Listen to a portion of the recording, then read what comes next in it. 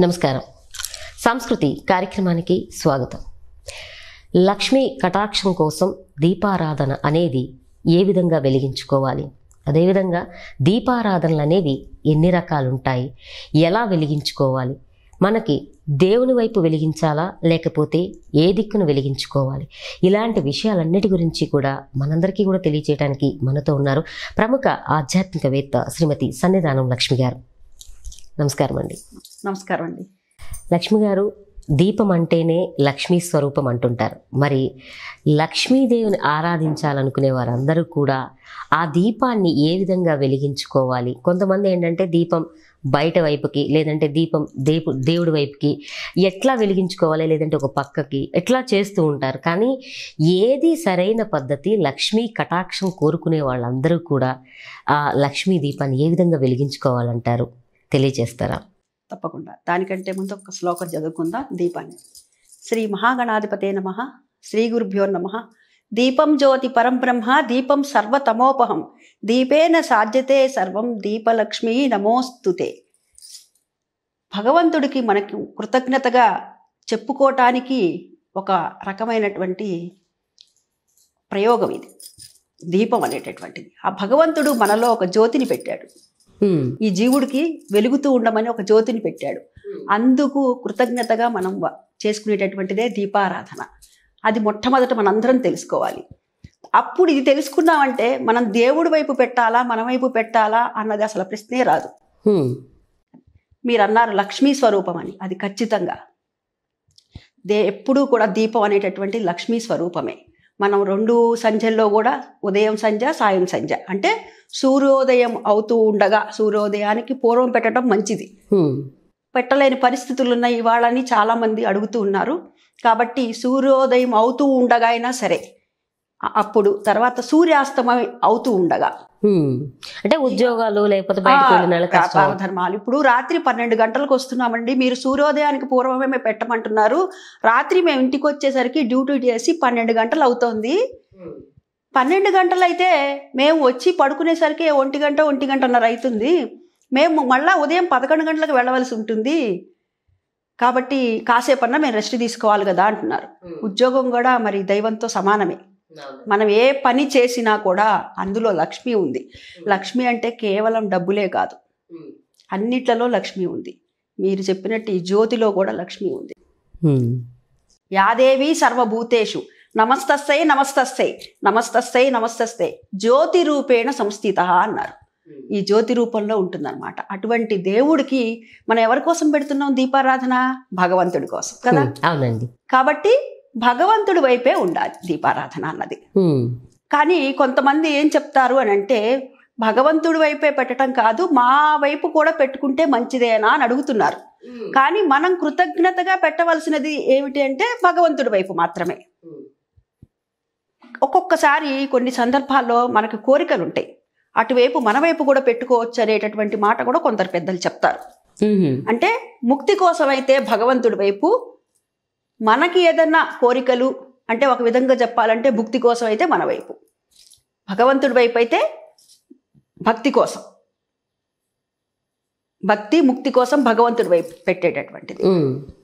మన వైపు పెట్టుకునేటటువంటిది మనం ఏవైతే అనుకుంటామో ఆ కార్యక్రమాలన్నీ కూడా అవ్వటం కోసం. అంటే దేవుని కోసం పెట్టినప్పుడు దీపారాధన మన వైపుకి ఉండాలి అనుకోవటం కూడా ఎంతవరకు కరెక్ట్ అంటారు? అది కరెక్ట్ కాదనే చెప్తాను నేను. ఎందుకంటే నేను కాదు ఎవరైనా అదే చెప్తారు. అలాంటి దేవుడి దగ్గర దేవుడి దగ్గర ఎందుకు పెట్టడం? ఎక్కడైనా దీపం పెట్టచ్చు. పెట్టుకోవచ్చు కదా. కరెక్ట్ ఇది చాలా మంచి పాయింట్ చెప్పారు మీరు. ఇది ఇది కావాల్సింది. మనలో కావాల్సింది అవేర్నెస్ అదే మనందరిలో కూడా. భగవంతుడి కోసం మనం చేస్తున్నాం. మొట్టమొదటే మనం అనుకున్నాం. ఈ జ్యోతి ఇందులో పెట్టావు. కాబట్టి దానికి కృతజ్ఞతగా నీకు ఇస్తున్నాను నేను. అటువంటప్పుడు జీవజ్యోతి మరి ఇందులో వెలుగుతున్నంతసేపే కదా మనకి జీవుడు అనేది ఉండేది? తర్వాత మళ్ళా ఆ జ్యోతి ఆరిపోయిందంటే మరుక్షణం ఇంకేం ఉండదు కదా? దానికి కృతజ్ఞతగా చేస్తున్నాం. కానీ ఇవాళ చాలా మందిలో భయం ఏర్పడింది అసలు. జ్యోతి అనే దీపం పెట్టాలి అని అంటే ఏమిటో దానికి విపరీతమైన నియమాలు ఉన్నాయా లేకపోతే కనుక అసలు ఎప్పుడో నియమాలు ఎక్కువగా ఉంటాయట. అందుకని వారానికి ఒక్క రోజో రెండు రోజులో పెడుతున్నాము అనేటటువంటి మాట వినపడుతుంది. అది చాలా తప్పు. దీపారాధన నిత్యం చేయవలసిందే. అది భగవంతుడి వైపు పెట్టవలసిందే. దీపారాధనలో కూడా అనేక అనేక రకాలు ఉన్నాయండి మనం నిత్యము ఇంట్లో చేసుకునేటటువంటిది నిత్య దీపారాధన అంటారు. అదేవిధంగా నిత్యము ఇంట్లో చేసుకునేదే కాకుండా తులసి కోట దగ్గర దాన్ని పెట్టేటటువంటి దీపాన్ని బృందావన దీపము అంటారు. అదేవిధంగా దేవాలయానికి వెళ్తాము. దేవాలయంలో గోపురం దగ్గర ధ్వజస్తంభం ఉంటుంది కదా. ధ్వజస్తంభం దగ్గర పెట్టే దీపాన్ని నందా దీపము అంటారు. అంటే ఇన్ని రకాలు ఉన్నాయి. ఇన్ని రకాలు ఉంటాయి. మనం వెంకటేశ్వర స్వామికి దీపారాధన చేసామనే అనే మాట వింటాం కదా? అవునండి. వెంకటేశ్వర దీపారాధన చేసుకొని స్వామి దగ్గరికి బయలుదేరామంటారు. అంటే ఒక బియ్య పిండిలో బెల్లాన్ని కలిపి చలిమిడిలాగా చేసి అది అది ఇంతదన్నా అవ్వచ్చు ఇంతదన్నా అవ్వచ్చు. అది ఏదైనా పర్వాలేదు. చేసి దాంట్లో ఆవు నేతితో దీపారాధనని చేసి వెంకటేశ్వర స్వామికి చేసేటటువంటిది వెంకటేశ్వర దీపారాధన. ఇలా ఏడు వారాలు చేస్తే అనుకున్న కోరికలు అభిష్టాలన్నీ కూడా నెరవేరుతాయి. వెంకటేశ్వర స్వామికి. వెంకటేశ్వర స్వామి. ఓకే ఏదైనా మొక్కుకుని చేయొచ్చు అంటారా? ఉమ్. మరి ఇదే పిండితో మనం ఈ చలిమిడితో చేసేటటువంటిది వరలక్ష్మి వ్రతం అప్పుడు చేసుకుంటాం. శ్రావణ మాసంలో తొమ్మిది దీపాలు పెడతాం. అవునండి. అమ్మవారికి ప్రీత్యర్థం అదే శ్రావణ మాసంలో మంగళవారాలు మంగళ గౌరీ కోసం అని పెడతాం ఐదు దీపాలు పెడతాం. ఇట్లాగే చలిమిడితో చేసేటటువంటిదే. అదేవిధంగా మన అఖండ దీపం అనే పేరు వింటాం కదా? అది అఖండ దీపం దాదాపుగా ప్రతి దేవాలయంలో ఏదైతే ఆగమ శాస్త్రాన్ని అనుసరిస్తారో త్రయాన్నికం కానీ పాంచాన్నికం కానీ నవాన్నికం కానీ ఇట్లా ఆగమ శాస్త్రాన్ని అనుసరించే ప్రతి దేవాలయాల్లో కూడాను అఖండము అనేటటువంటిది ఉండి తీరుతుంది. అంటే గోపురానికి అంటే ధ్వజస్తంభానికి పైన వెలిగించేదే కదండి? అది అది కాదమ్మా అది ఆకాశ దీపం అంటారు. అది కార్తీక మాసంలో నెల రోజుల పాటు దీపాలు నక్షత్రాల్ని అంటే ఈ వెలుగును మాకు ఇచ్చావు స్వామి అందుకు కృతజ్ఞతగా నీకు ఇస్తున్నటువంటి ఈ వెలుగు అని చెప్పి ఆకాశం వైపు పెడతారనమాట ఇది ఆకాశ దీపం అని కార్తీక మాసంలో నెల రోజుల పాటు కూడాను శివాలయాల్లో వైష్ణాలయాల్లో కూడా పెట్టేటటువంటి దీపం అన్నమాట. ఇక్కడ కిందనే వెలిగించి ఇట్లా రౌండ్గా ఉంటాయి ఇత్తడి వాటిలో పెట్టి వాటిని పైకి లాగుతారనమాట అంటే అఖండ దీపం అంటే ఒక పెద్ద అఖండ దీపం అంటే ఏమిటంటే ఒక మూకుడు తీసుకుంటారు. మూకుడు తీసుకొని దాంట్లో పెద్ద ఒత్తి వేస్తారు. అఖండ దీపపు ఒత్తి అని బయట మనకి కొట్లలో కూడా అమ్ముతారు. ఈ పూర్వం అయితే ఇంట్లో చేసేవారు. దానికి చాలా లెక్కలుగా ఉండేవి చేసేవారు. ఇప్పుడు మన నిత్య దీపారాధనకి ఒత్తులు మనం బయట నుంచి కొనుక్కొచ్చుకుంటున్నాం. అఖండ దీపం ఇంకెక్కడ చేస్తాము? కాబట్టి ఆ అఖండ దీపం అమ్ముతారు ఇంత పెద్ద మూకుడు ఉంటుంది. ఆ మూకుడు నిండా కూడా నువ్వుల నూనె పోయాలి. ఉమ్. నువ్వుల నూనె పోస్తారు. అందులో ఆవు నెయ్యి కూడా పోయారు. ఎంత ధనవంతులైనా సరే. ఎందుకంటే గ్రహపీడ కోసం అని చేసేటటువంటిది అనమాట ఎటువంటి అరిష్టాలు లేకుండా ఉండటం కోసం. దాని నిండా పోసి అఖండం వెలిగిస్తారు. ఆ అఖండాన్ని ఇరవై నాలుగు గంటల పాటు ఉంచుకునేవారు ఉంటారు వారం రోజుల పాటు ఉంచుకునేవారు నలభై ఒక్క రోజుల పాటు చేసేవారు ఉంటారు అది జాగ్రత్తగా చూస్తూ ఉండాలి అది కొండెక్కకూడదు దీపాన్ని ఎప్పుడు కూడా మనం ఆరిపోయింది అన్న మాట అనకూడదు కొండ. కొండెక్కింది అని అనాలి. అది కొండెక్కకుండా మనం జాగ్రత్తగా చూడాలన్నమాట ఆ దీపాన్ని. అట్లా మనం అనుకున్న ప్రకారంగా అది ఇంట్లో కార్యక్రమాలైనా సరే శుభకార్యాలు అవుతుంటే దాదాపుగా అఖండం అన్నది ఇళ్ళలో పెడుతూనే ఉంటారు. అది తర్వాత కార్తీక మాసంలో పెట్టే దీపారాధన ఉసిరిక దీపారాధన. ఆ దీపారాధన చేయటం వల్ల లక్ష్మీప్రదమైన దీపారాధన. ఆ తులసిలో లక్ష్మి ఏ విధంగా ఉంటుందో ఉసిరిగలో కూడా అదే విధంగా లక్ష్మీదేవి ఉంటుంది. ఆ- ఆ అమ్మవారు శంకరాచార్యుల వారికి శంకరాచార్యుల వారు ఒక ముసలమ్మకి లక్ష్మిని ఆరూపంగానే ఇచ్చారు కనకదార స్తోత్రం చూస్తే మనకు అర్థమవుతుంది అనమాట ఉసిరిగా అంటేనే లక్ష్మీ స్వరూపం. ఉమ్. అటువంటి ఉసిరిగ పైన కూడా దీపారాధన నెయ్యితో దీపారాధన చేయాలి. అది కార్తీక మాసం అనే కాదండి. ఏ మాసం అయినా చేయొచ్చు కానీ మనకి దాదాపుగా ఉసిరిగా అంటే సీజనల్గా వచ్చేటటువంటిది కదా. ఆ మాసాల్లోనే వస్తుంది. కార్తీక మార్గశిర మాసాల్లో. కాబట్టి శివుడికి ప్రీతికరంగా కార్తీక మాసంలో విష్ణువుకి ప్రీతికరంగా మార్గశిర మాసంలో కూడా ఆ దీపాన్ని పెట్టడం జరుగుతుంది. దీపదానం చేసేటటువంటి వారు కూడా వెండి ప్రమిదలో బంగారపు ఒత్తి వేసి. దీపదానం చేస్తారు.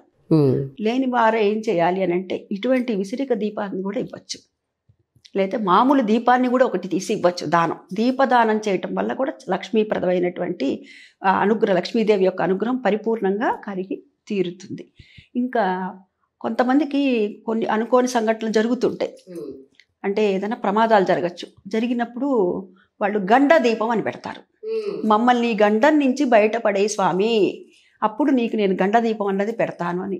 దాదాపుగా ఇవి గండ దీపాలు ఎక్కడ పెడతారంటే ఎత్తుగా ఉండేటటువంటి పర్వతాలు అంటే మనకి కొండలు ఉంటాయి కదా ఎక్కువగా నరసింహస్వామి కొండల మీద ఉంటాడు. మనకి తెలిసి ఇక్కడ మంగళగిరి ఉంది కదండి విజయవాడ దగ్గర పానకాల స్వామి అక్కడ ఎత్తు మీద పెడతారు. చాలా మందిని నేను చూస్తున్న చిన్నతనం నుంచి కూడాను గండ దీపం అన్నది పెడతారు. కొంచెం ఆ కంటే స్వామి కంటే కూడా ఇంకా కొంచెం పైకి ఉంటుంది అనమాట ఎక్కాలి ఇంకా కొంచెం పైకి. ఎక్కి అక్కడ ఎవరైతే ఆ గండం నుంచి బయటపడతారో వాళ్ళు వెళ్ళి కృతజ్ఞతగా అక్కడ స్వామికి గండ దీపం పెట్టొస్తారు. ఈ విధంగా దీపాల గురించి చెప్పుకుంటే అనేక అనేక దీపాలు అన్నమాట అంటే ఏమిటి ఇక్కడ? భగవంతుడు మనకిచ్చినటువంటి ఈ మానవ కోటాను కోట్లలో జీవరాశుల్లో తెలివి బుద్ధి అన్నీ ఉన్నటువంటిది వాక్కు ఇన్ని రకాలైనటువంటి ప్రత్యేకమైన జీవి. ప్రత్యేకమైనటువంటి జీవి. సంఘజీవే.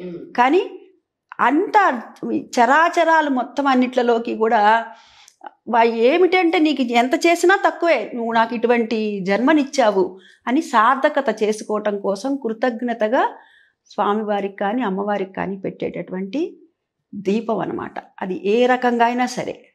మనం ఇన్ని రకాల దీపాలు ఉన్నాయి అంటే దీపాల్లోనూ ఇన్ని రకాలు ఉన్నాయి ఆ దేవునికి కృతజ్ఞతగా పెట్టేటప్పుడు దేవుని వైపునే దీపం వెలిగించడం అనేది సరైన పద్ధతి అని చెప్పి మీరు అది తెలియజేస్తున్నారు. ఖచ్చితంగా అందులో అనుమానం ఏమీ లేదమ్మా. దేవుడి వైపు ఉండటమే వందకి నూట యాభై శాతం అదే రైట్. ధన్యవాదాలండి. విన్నారు కదండి. దేవునికి వెలిగించేటప్పుడు దీపం అనేది ఎటువైపున వెలిగించుకోవాలి? లక్ష్మి స్థిరంగా ఉండాలి అనుకునేవారు ఆ దీపారాధన అనేది ఏ విధంగా చేసుకోవాలి? అదేవిధంగా దీపారాధనలో ఎన్ని రకాల దీపారాధనలు ఉంటాయి? ఇవన్నీ కూడా మనకి చాలా చక్కగా అర్థమయ్యేలా తెలియచేశారు కదా సన్నిధానం లక్ష్మి గారు. ఈ వీడియో కూడా మీ అందరికీ నచ్చుతుందని ఆశిస్తూ మరలా సంస్కృతి కార్యక్రమం కలుసుకుందాం. నమస్తే.